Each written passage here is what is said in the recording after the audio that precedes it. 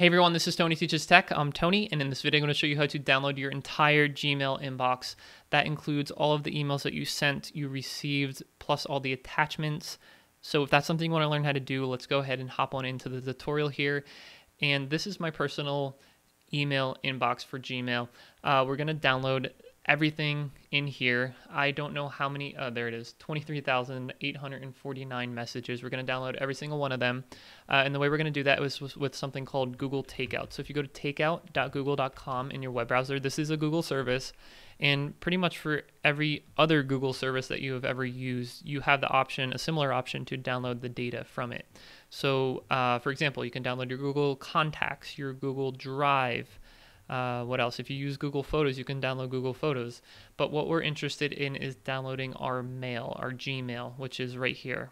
Messages and attachments in your Gmail inbox or your Gmail account in the form of an MBOX file. Okay, so that's that's how we're going to download that. Um, but as you can see, we have all of these checkboxes selected for all of these uh, services. We only want to do mail. So let's deselect everything. Come back down to mail which is in the M, M section. There it is, mail. And then we'll just select that box. Okay.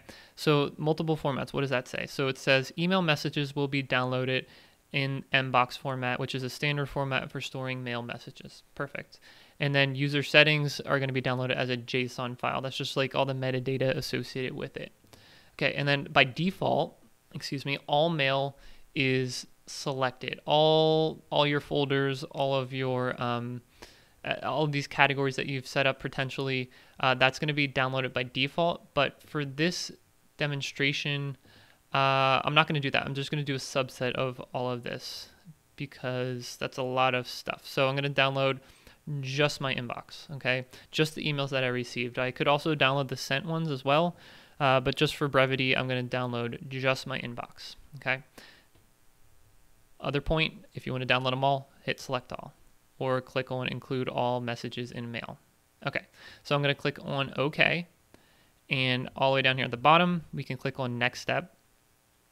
And this is where you can uh, pick, if you have a very, very large inbox, let's say, uh, you can expand this to a size that's larger than two gigabytes. But basically, all right, let me, let me explain this.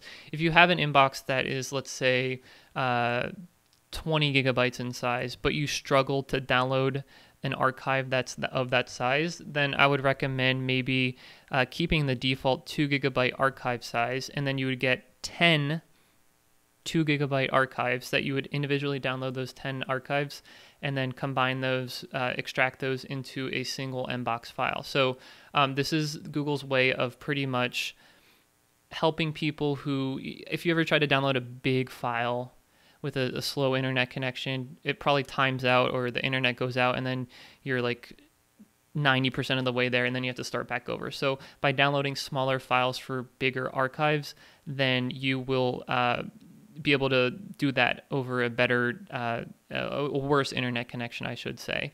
If it times out, then you only have to repeat two gigabytes as opposed to 20 gigabytes. Hope that makes sense. Otherwise, uh, I'm just going to stick with the default here. Two gigabytes are going to be downloaded as zip files, and we're just going to export that once. So let's go ahead and create that export. And this will take a little bit of time for, you know, 24,000 messages.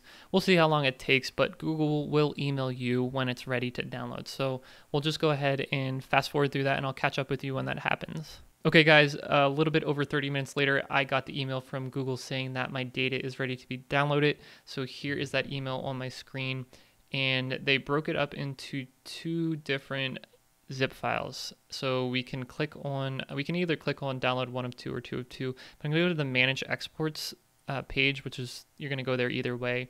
And I'm not sure uh, why this is the case, but for some reason, although, you know, what we picked in the previous screen, they decided to split it up into a 4.87 gigabyte file and then the second archive is going to be less than one megabyte. So I'm a little confused why that's the case, but what we're going to do is download each of these individual archives, um, and this will take, I, I would expect, um, let's see, it says 13, maybe 15 minutes. So I'll have to fast forward through this as well.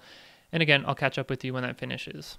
Okay guys, so those files have been downloaded as you can see here and we have our mbox file which contains all of our email messages and then the archive file. So let's make this screen about half screen and then we'll drag those onto the desktop. And at least on Mac, while this looks like it is uh, a folder that you can open if you try to do that, it's going to say you need a special type of application to open that. And that's where we're going to uh, download and install Thunderbird. I've actually already done that, but if you need to get it uh, yourself, you can go to thunderbird.net and download that. Should work for Mac, Windows, and Linux. So once you have that installed on your computer, I'm going to open it. Go to Thunderbird, open that application, and uh, we're going to basically take this file, the mbox file, and import it into Thunderbird so we can look at our messages. So how do we do that? Well, what we need to do is add a, a extension. So go to Tools and uh, add-ons, and then we're going to search for something called import export tools. Hit enter, and we want the well, the one called import export tools ng. So let's add that to Thunderbird. Uh, we'll add. Okay, and add. I'm not sure why that keeps asking me, but looks like we have that in there. So we can access that by going to tools, import export ng, and then we want to do is import an mbox file. But let's get out of here first, just so we know what we're working with. Make sure you have your uh, destination folder selected, um, or at least the inbox. I'm not sure which one. Let me see if this works. Go to Tools. Yeah, so make sure you have that selected, and then go to Import mbox File.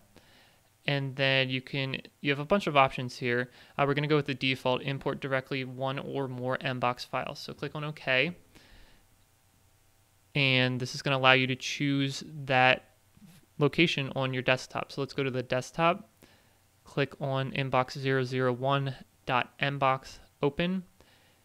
And this is the part that, uh, depending on how big your inbox file is, mbox file is, could take a while. So we're gonna just skip past through this. Okay guys, all those emails have been imported into my local inbox here. And as you can see, there's 32,671 messages, not the 24,000 that uh, Gmail actually reported.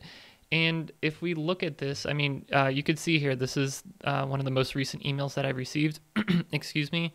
Um, this is what the content of that looks like here. And then if we make this half screen again and pull up the actual email inbox, we'll see that this is what the original email looked like. Um, so there's there's a difference here because Thunderbird has blocked remote content in this message. Now, if we want to see all of that stuff, we can say uh, allow remote content from all three origins listed above or for the whole email address itself. So that'll look a little bit more like what we'd expect it to look like. So again, locally here on Gmail here. Same thing for all of these other emails. You can go through here. Here's one with an attachment. Uh, so you have pretty much a one-to-one relationship between your Gmail inbox and all of the individual emails over here in Thunderbird or whatever client you do choose to work with. I want to thank you guys for watching this video. Check out some more Google Takeout videos over here. Subscribe to this channel for more videos like this from me in the future. And if you do, I will see you in the next one.